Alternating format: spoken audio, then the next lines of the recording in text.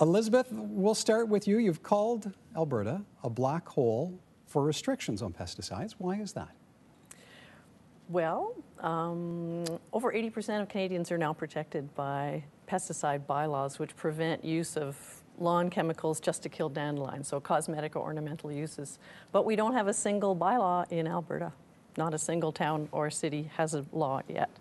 So cities of a comparable size elsewhere across the country? That's right, almost all the large cities in Canada plus. It all started in Quebec uh, 20 years ago in Hudson when Dr. June Irwin um, got worried about children coming in with symptoms from playing on lawns treated for dandelions, just sprayed. They had diarrhea, vomiting, um, rashes. So she started investigating it and went to every council meeting for six years and brought questions for the councillor. So that's how it all began.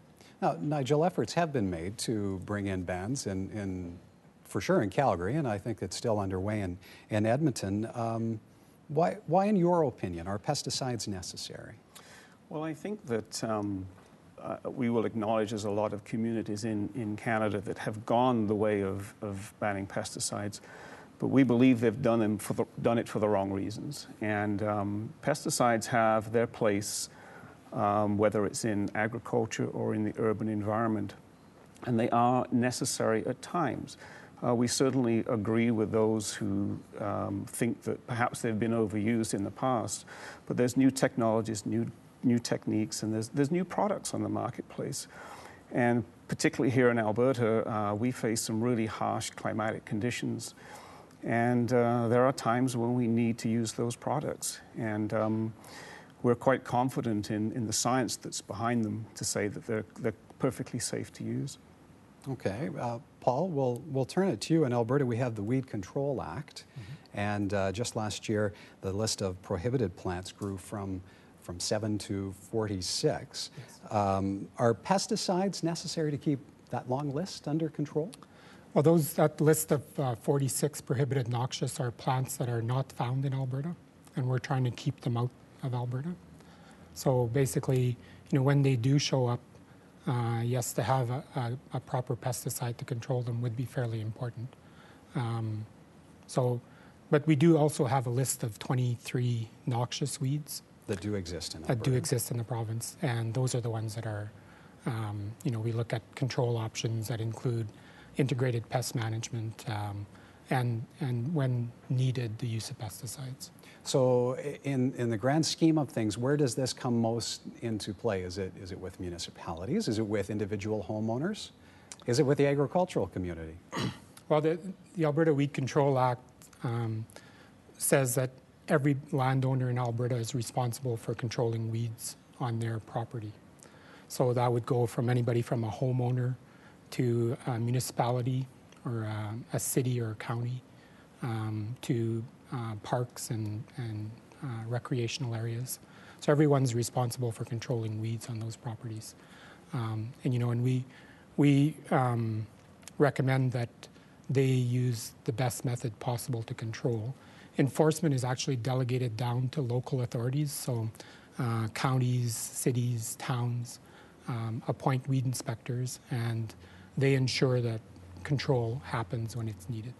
Okay, so we've established some parameters around around what weeds are, are out there, what we want to ban, uh, some thoughts as well on the use of pesticides. What is it, though, that you're advocating for, Elizabeth?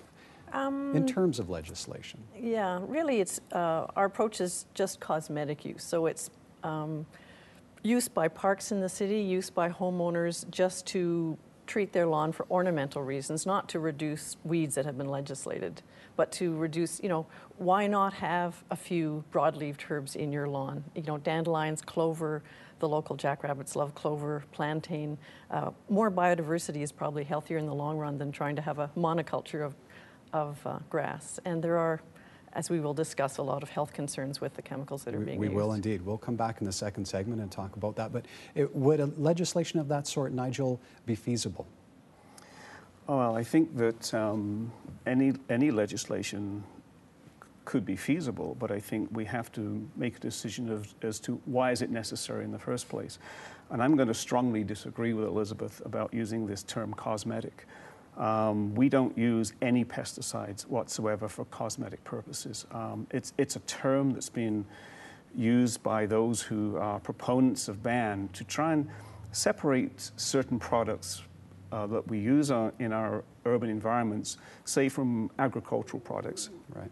In, in, in regard to cosmetic use, um, I think there's this misconception that the products are used to enhance the, how a lawn grows or how green it is. That's the function of fertilizer and water and, and sunlight. We, we need to use pesticides such as weed killers to stop weeds invading those our lawns because if we allow weeds to get out of control, they will take over a lawn. Uh, and that doesn't matter if it's in a boulevard, in somebody's home lawn, or in a park, there has to be a certain level of control. But there's other methods besides the use of, of herbicides. And, and I think that what we have to understand is that um, in the urban environment, we, we do have um, cultural ways that we can control weeds. So pesticides, hopefully we're using them, you know, sort of as a last resort. But to take away the opportunity to control weeds, um, I, I, don't think is, is the place for legislation. One quick thought on that before we go to break? Well, I was just going to say that there is extensive experience with organic turf care to make it look beautiful without using pesticides, and we just not need to draw on those skills. Okay. Well, maybe talk about some more alternatives when we come back as well after the break. All the all-important health issue. Uh, do pesticides, in fact, pose a risk?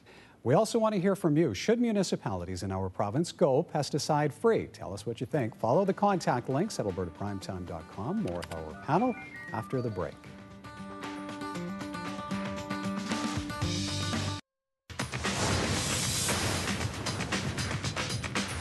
It gets into the air that we breathe, uh, and it's unhealthy for the wildlife.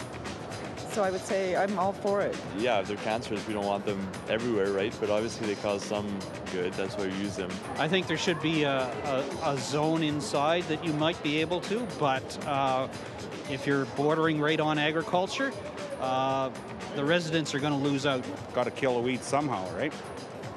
So that if you don't have pesticides, things get out of hand. So my answer to that would be no. So some interesting thoughts there from Albertans on the push to ban pesticides. Uh, we heard in there, Elizabeth, the, the reference to health. Mm-hmm. And Do- wildlife. And wildlife as well. Do the pesticides pose a, a health risk, in your opinion? Oh, yes, I think they pose a health risk. There's, if you go to the health authorities in Canada, doctors, nurses, the Canadian Cancer Society, they um, are all for pesticide bylaws to reduce exposure of Canadians, especially children, to um, the health effects of pesticides. So are there documented cases? Is there, is there There's direct evidence links. linking? There's strong links shown between, uh, especially farm workers, and incidents of cancers such as lymphomas, um, organ cancers, um, prostate cancer, brain cancer. Um, there's lots of literature on the web about it. Yeah. Nigel, your thoughts on that? Well, I, I don't disagree that we, we shouldn't be using products that uh, cause health problems or are detrimental to wildlife. But in Canada, we have um, an agency called Health Canada. And it's the agents, this is the agency that regulates and puts into place science based reviews as to the effectiveness of these products and are they good for the environment? Are they safe for human health? And we have, I think, probably one of the world's best regulatory agencies, and they've they've made it very clear that the products we use on our lawns um, have caused them no concern. And so I'm, we're really puzzled why the advocates who, who propose bans don't listen to what Health Canada says to us because they're the agency. Uh, a lot of the advocacy groups uh, use um, outdated reports, um, a lot of misinformation. And so I would really, you know, there's, there's certainly a lot of information on the internet, but a substantial amount of it is, is incorrect. So if, if people want to learn about the products, about pesticides, I think Health Canada is the authority that we need to listen to. Paul, provincially, the Alberta government is responsible for health, but in this instance, it's deferred to Health Canada?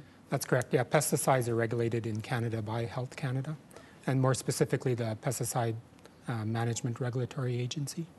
Um, and they, they're responsible for the Pest Control Products Act, under which all pesticides are regulated. So, uh, no pesticide in Canada is sold uh, without being tested uh, and found to be safe for, for human health, for the environment. Um, and um, Health Canada assures us that as long as they're used according to label directions, uh, they're safe to use. So um, Alberta Agriculture supports uh, Health Canada's point of view on that. Elizabeth? When used as Ni- directed. Nigel brought up some opposition to what you had to say. Yes.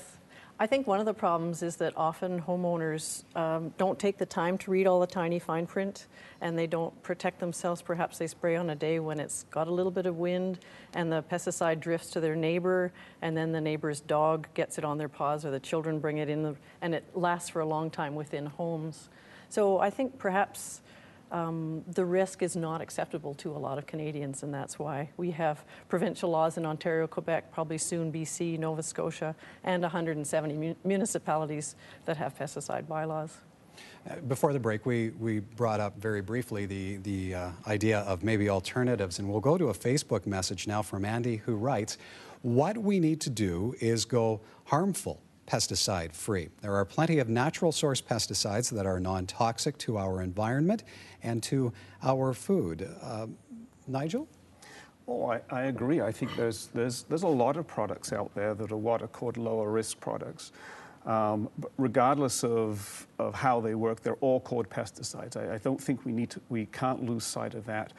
But some of the products, um, absolutely, they, they work very well, uh, particularly around, around homes and um, smaller, smaller yards. It's when we get into the larger areas such as municipal parks, um, on boulevards, um, sports fields, it becomes quite cost prohibitive to be using some of these uh, lower risk products. Uh, and they take a lot longer uh, to, to act um, on, on, the weeds. Um, but, but certainly there's, there's alternatives, and there's lots of cultural practice we can use. We're not advocating the um, you know, sort of every time you see a dandelion, you have to grab for a bottle of weed killer. Uh, but I think what what industry looks for, I think what agriculture looks for, is the ability to have those products in the toolbox when they're needed. And the fact that Health Canada has said that the products we're using don't pose a risk, then I don't, I don't think that there, there's really an issue around the, the pesticides as the way some people would, would suggest. Paul, is, a, is an outright ban on pesticides feasible? Could we see it in our lifetimes? We may, I guess. It, it is um, feasible. I guess we've seen it in, in Quebec and in Ontario where they've had a cosmetic ban. Um, certainly, from an urban point of view, um, it is possible. From an agricultural point of view, it would be a lot more difficult. Definitely, agriculture relies pretty heavily on pesticides to keep the crops clean and to uh, maintain those high yields that um, bring good, good returns back to the farmer. So, um, pesticides are pretty important to the agricultural community. So, Elizabeth, it looks like we need a balance. We do need pesticides, maybe to a certain degree, but maybe we should also be keeping an eye out to health. And Can- I think it's a we great idea to explore what's already happened with organic turf care and, and reduction of chemicals in other ways. For instance, in um, New York, they did a five year study of sports fields and found that um, over that time, the costs of turf care dropped 26% using just organic methods. So that means building up your soil with more compost and better nutrition and, um, and overseeding and other ways to make the turf happy without having to use pesticides. Herbicides is what I'm actually referring to. Last word to you, Nigel. Can that balance be found?